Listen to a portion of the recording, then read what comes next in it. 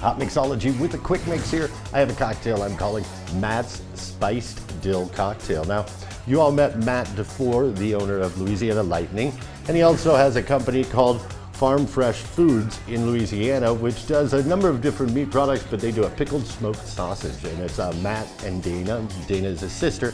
Matt and Dana's pickled smoked sausage. And I'm incorporating this into Matt's spiced dill cocktail. Here's what I did in a shaker. I uh, started with the chilled dill pickle flavored vodka. You've seen it on Hot Mixology before. It's uh, where you used to have the pickle back, a shot of vodka and a back shot of pickle juice. Chilled Dills did it right. They incorporated that into one great product. It's Chilled Dills pickle flavored vodka. And uh, what I did in a shaker with ice, added Chilled Dills pickle flavored vodka.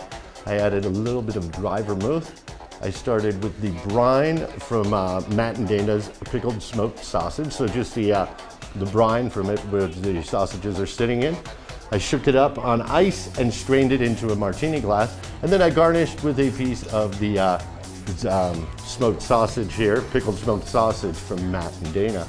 And uh, it just makes a perfect cocktail. The chilled dill pickle flavored vodka does it right. It's great on its own, but you know, when you tweak it out with a cocktail and add those different elements to it, it makes the perfect cocktail for your Thanksgiving holidays or any time of the year. Matt's spicy dill cocktail. Happy Thanksgiving, everybody.